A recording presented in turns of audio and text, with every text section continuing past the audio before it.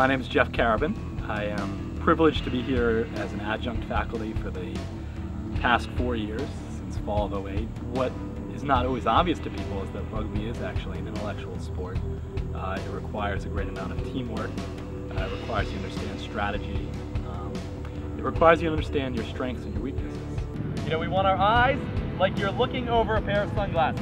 So when you're coming in, you know, you're getting in this position, you're on your knees right now, but your eyes are gonna be like you're looking over your pair of glasses. So your head's not like this, you're looking at where you're hitting. Well, I mean, it's similar to football in the sense that you have a ball and that you are trying to score it in an end zone, what they call a try zone. So literally, you're trying to touch the ball down. Uh, and in American football, you just have to cross the goal line. In rugby, you actually have to place the ball uh, in the, the try zone.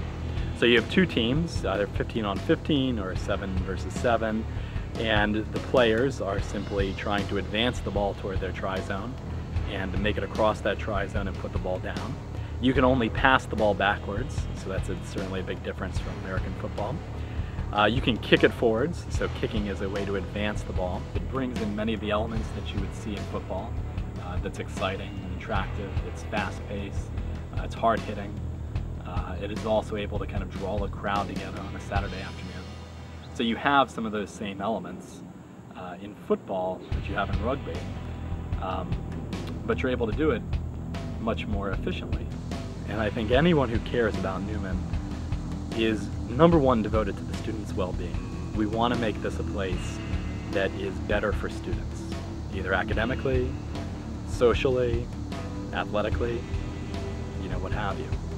And so I think this is just one more way that the uh, Neumann students are going to be able to participate in Neumann activities, are going to be able to feel a sense of pride uh, with being a Neumann Knight. And I think uh, everyone should be excited about that. And, you know, beyond rugby, you know, Neumann has been tremendous in terms of building up its programs, building up this field that you see behind us, this, this athletic center, doing some stuff with academics, changing to a university. So it's exciting to be part of a university that is really committed to growth and really committed to offering more to students than it did in the years past. And so this is one of those ways that something more is going to be offered. And additionally, I think it's exciting because we don't have football here at Neumann, but now we have rugby. And this is going to be uh, a great avenue and place for students to come to socialize, to see an exciting game, to see an a game that involves contact.